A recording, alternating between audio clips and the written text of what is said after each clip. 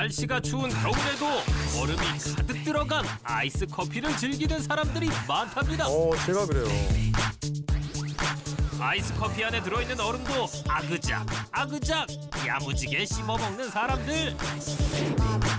심지어 얼어 죽어도 무조건 차가운 음료만 마신다는 모임까지 등장. SNS에서 화제랍니다.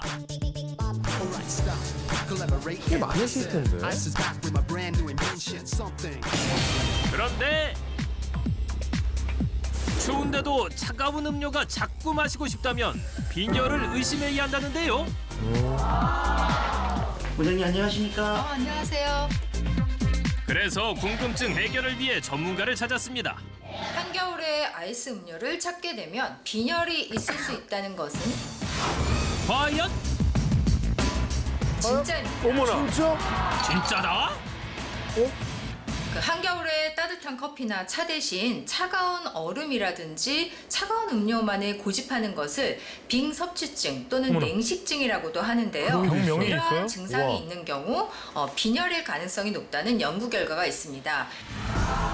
빙 섭취증과 철 결핍성 빈혈이 관련이 있다는 연구 결과. 안녕하세요. 어떻게 해야 돼요? 실제로 겨울철에도 찬 음료와 얼음을 즐겨 먹는다는 한 사례자를 만났습니다. 과연 그녀에게도 빈혈이 있을까요? 찬 음료를 먹으면은 빈혈이다.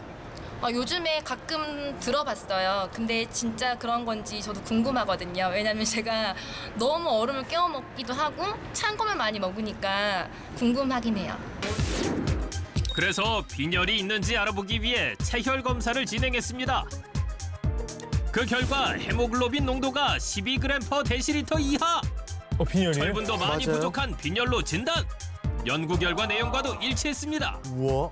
철분이 부족하게 되면 적혈구가 제 기능을 잘 못하게 되고 이런 경우 뇌로 가는 산소가 부족해지는데 어, 그렇게 되면은 체온 조절에 문제가 생길 수 있습니다. 따라서 입안의 온도가 올라가면서 무의식적으로 계속해서 차가운 음식을 찾게 되는 이 냉섭취증 증상을 보일 수 있습니다. 모든 빈혈은 다차 가운 음료나 얼음이 당기는 걸까요?